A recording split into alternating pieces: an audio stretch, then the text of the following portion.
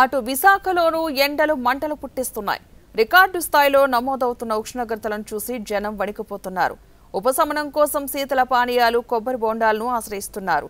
విశాఖ జిల్లాలో ఎండల తీవ్రతపై మరింత సమాచారాన్ని మా ప్రతినిధి తిరుపతిరావు అందిస్తారు. ప్రతాపాన్ని చూపిస్తున్నాడు. పట్టపగలే పన్నెండు గంటల అవుతాడికి పగపగమంటూ ఎండలు ఒక్కసారిగా రావడంతో ప్రయాణికుడు వచ్చేటువంటి బాటసార్లు ఎవరు కూడా రోడ్డు మీద రావడానికి భయపడుతూనే ఉన్నారు. కొంతమంది బాటసార్లు అంటే ప్రయాణికులు. ఇక్కడ ఉండేటువంటి టెంపుల్స్కి హాస్పిటల్స్కి వచ్చినటువంటి వాళ్ళు సుదూర ప్రాంతాల నుంచి.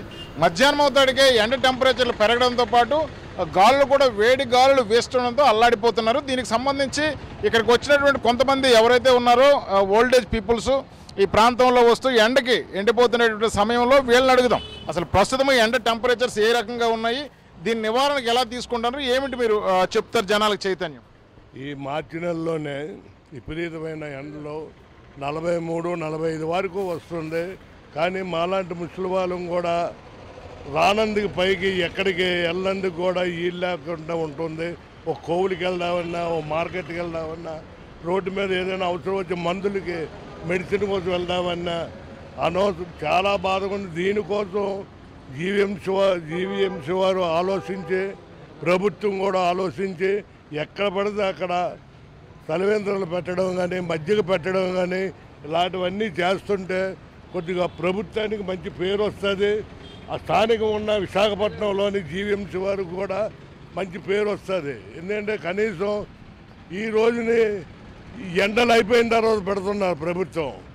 బెగ్గర్స్ కూడా ఎక్కడ పడితే అక్కడ సొమ్మదార్చి పడిపోతున్నారు. అలాంటి మంచిని నిన్న మేము పడిపోతే తీసుకొని కేజీహెచ్కి తీసుకెళ్ళి ట్రీట్మెంట్ చేయించాం.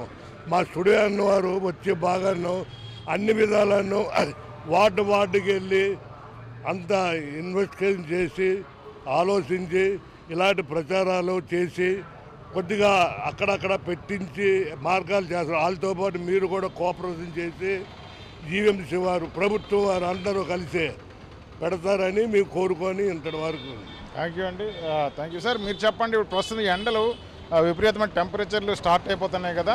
అంటే రోహిణీ కర్తి రాకముందే మార్చి నెలలోనే ఇంత ఎండలు ఉన్నాయంటే రోహిణీ కర్తి వస్తాడికి కూడా అంటే మే నెలలో ఇంకా దీని తీవ్రత ఎక్కువగా ఉంటుంది కనుక ప్రస్తుతం ప్రికాషన్స్కి ఏ రకంగా మీరు గవర్నమెంట్కి డిమాండ్ చేస్తారు? చాలా ముందు ముందు ఉద్రిక్త ఉంటుంది. రాను రాను ఏప్రిల్ మే ఇంకా ఏప్రిల్ మేలో ఇంకా రాను రాను ఎండలు ఎక్కువ టెంపరేచర్ యాభై యాభై గత వర్షాలు ఎక్కువ పడడం వల్ల కాలం క్లైమేట్ చేంజ్ అవుతుంది. దాని కొలది ఈ ఎండ తీవ్రత ఎక్కువ అవుతుంది ఎండ తీవ్రత ఎక్కువ అవుతుంది దానివల్ల రైల్వే స్టేషన్ దగ్గర కూర వృద్ధులు ముసలోళ్ళు వీళ్ళకి వాటర్లు మజ్జిగ ప్యాకెట్లు ఇలా అని కొన్ని మున్సిపల్ కార్పొరేషన్ జీవీఎంసీ మేయర్ గారు వాళ్ళందరూ పూనుకోవాలని కోరుచున్నాం.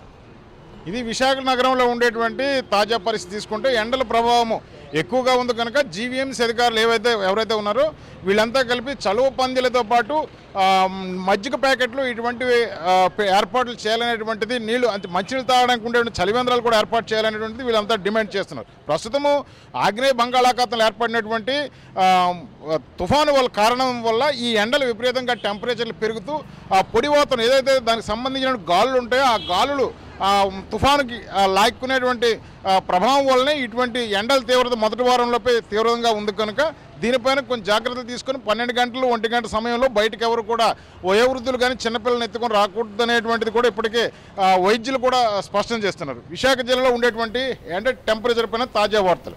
కెమెరా పర్సన్ నాయుడుతో తిరుపతిరావు విశాఖపట్నం.